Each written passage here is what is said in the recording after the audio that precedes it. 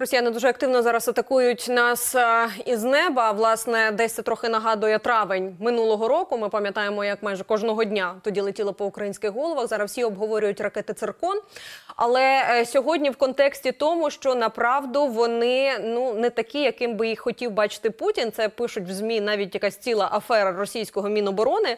Я е, буквально зацитую керівник лабораторії військових досліджень Київського науково-дослідного інституту судових експертиз. Сьогодні сказав, що ракети циркон, якими Росія атакувала Київ 7 лютого і 25 березня, не виконують визначену бойову задачу і ту роботу, до якої вони простосовані. Тобто там фактично йдеться про кілограми і про те, що ну в задумці вони мали би бути геть іншими.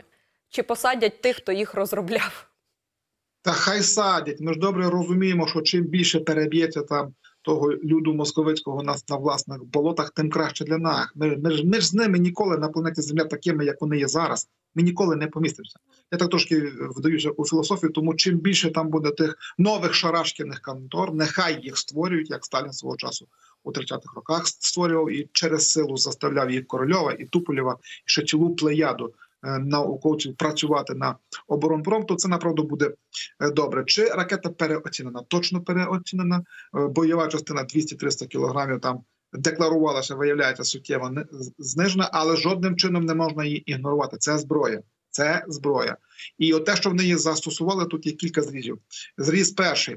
Вони зуміли сягнути якогось технологічного прогресу. Чому ця ракета розроблялася виключно як ракета морського базування? Застосували її із суходолу. Отже, або інтегрували у автомобільне шасі, скажімо, у пускову ус- установку Бастіон не, не зовсім хороша новина, бо вона рухома, тяжко на неї полювати. Або є така ж старенька 60-х років стаціонарна установка УТьос. Це трошки простіше, бо рано чи пізно ми її обчислимо. Вона стаціонарного базування. Тобто в них є технологічний поступ уперед. Але є інший зріз. Якщо вони до цього вдаються, то це означає, що з будівництвом інших ракет, штатних, які вже апробовані, вивчені. Так як треба, також є певна проблема. Е, Мій особистий погляд і моя особиста позиція триватиме зал- залпування ракет впритул до останнього дня цієї війни. Ще раз повторю: будувати 120-130 ракет усіх класів можуть. Тепер у частині множини мушу це питання зачепити, бо дуже ми самі собі пе- пере- перегріли це в нашому інформаційному просторі. Пригадаємо так зване темне півріччя, так я його сам для себе називаю, жовтень 2022, березень 2023. Та не, не співмірно. Не співмірно. Ще цей період я називаю періодом гудіння генераторів. Ну нема тепер гудіння генераторів. Ну є болісно, дошкульно, важко, але тоді реально все вимикалося щодня упродовж півроку на тривалий час. А тепер ми більш-менш все ж таки витримуємо. Тому дошкульно, погано, але не так катастрофічно, як, до речі, ворог хоче розігнати цю інформацію поміж нас, щоб ми боялися. Бо де страх, там паніка, де паніка, там помилки. Ну, пане Петре, дехто каже, що це така відповідь за російські НПЗ, які серйозно палали також цей період. Не знаю, як вони його називають і впишуть в історію, але пала- палало в них знатно.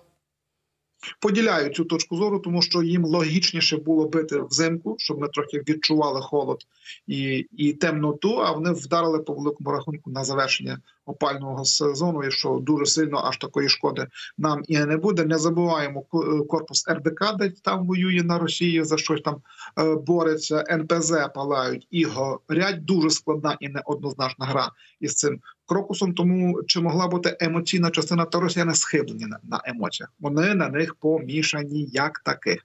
Вони все прив'язують до якихось символізмів. Один Сталін приймав е, дуже серйозні рішення, скажімо, операція Багратіон абсолютно недоречна, але він ухвалив її виконання виключно на емоціях. Так все влаштовано. Зрештою, інтелект дуже сильно переоцінений. Психологи кажуть, що в частині ухвалення е, рішень ірраціональне емоційне сягає 80%. Наскільки емоційне, щоб вдарити по Дніпрогес, розуміючи наслідки і те, якою може бути катастрофа. Ну тут то знову давайте акуратно в частині катастрофи.